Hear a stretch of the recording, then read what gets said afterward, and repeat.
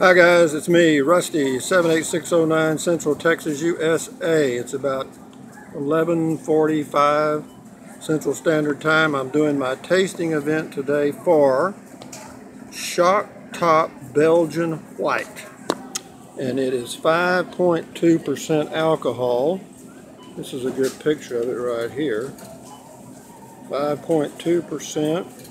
I don't see anything about the carbs, etc. It says by Shock Top Brewing Company, St. Louis, Missouri. Uh, what else we got here? If you're pregnant, uh, you're not supposed to drink it.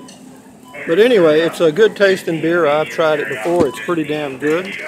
And uh, if you're into, it's a Belgian wheat it's Belgian white beer, but it's a wheat beer, and uh, it's pretty good. It's, it's uh, it'll ring up. Well, today it, it rang up at well with tax and everything, nine dollars and twenty-eight cents.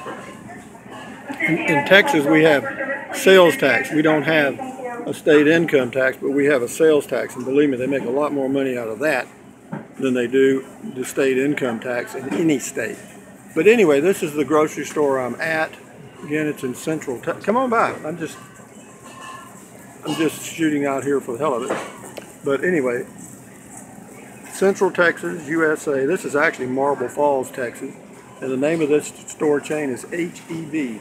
And they are good, very good. Uh, the employees own own the grocery chain now. The owners gave the stock to the employees and uh, that's amazing. It's very good. But anyway, having said all that, if you're interested in beer and you want to check out Shock Top Belgian White, uh, these are long neck bottles today, and uh, I like bottles.